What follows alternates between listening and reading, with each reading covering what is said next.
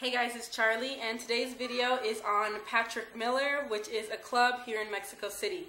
Patrick Miller, it was created and named after Patrick Miller, who is a famous DJ here in Mexico City. Um, this club specializes in 80s music. The cool thing about this club is it's completely different than any other club that I've been to. um, I go to a lot of gay clubs here in Mexico City, and I have to mention that this club is not a gay club, but there are a few or a good amount of transvestites that go there. But the cool thing about this, not only is that it's straight, but there's this really interesting sense of freedom that I've seen here at the club. I have a clip to show you. But what happens at this club is people gather into different circles, and within the circle, two people have what you would see as a dance off. And, and the cool thing about this is it's complete freedom in the circle, and people are just letting it out.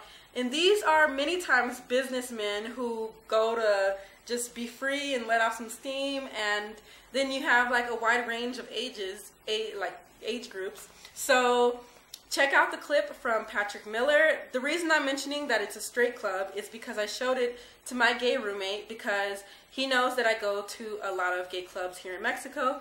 And when I showed him the clip, he probably assumed that it was gay. And at the end of the clip, I told him this is a straight club, and he was like, What? It's a straight club? So check out the clip and tell me what you think.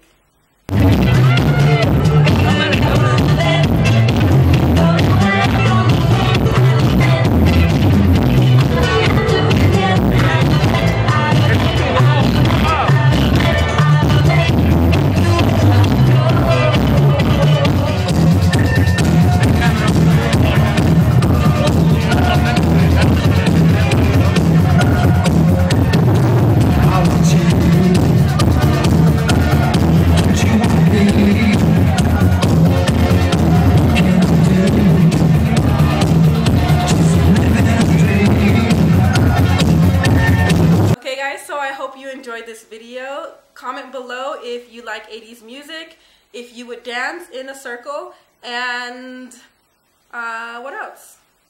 Oh, check out my, my website, blackpearlworld.com.